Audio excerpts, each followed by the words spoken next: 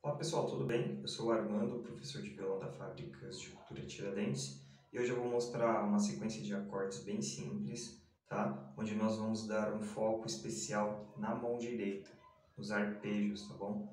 Vou ensinar vocês a fazerem um dedilhado bem legal em cima dessa sequência de acordes, beleza? Então vamos lá. A sequência de acordes é essa daqui, Lá menor, Sol com baixo em Si, Dó com nona e o Ré maior. Beleza? Então, ó, vamos lá. O fundamento do dedilhado é esse daqui. Polegar, indicador, médio, anelar, médio, indicador, certo? Geralmente as pessoas, quando elas começam a dedilhar, a fazer arpejo, basicamente começa por esse. Só que agora, o que nós vamos fazer? Vamos manter as posições dos dedos da mão direita nas cordas, né? Ou seja, polegar, se tratando de Lá menor aqui, polegar na quinta corda, indicador na terceira, médio na segunda, anelar na primeira, certo? E o que, que eu vou fazer? Eu vou tocar o polegar e o anelar juntos, ó. Aí depois vou fazer indicador, médio, indicador.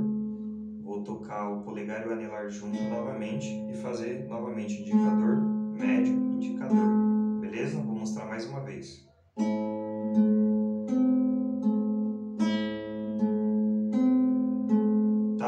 Então, basicamente, eu vou fazer isso duas vezes em cada acorde. Como vai ficar.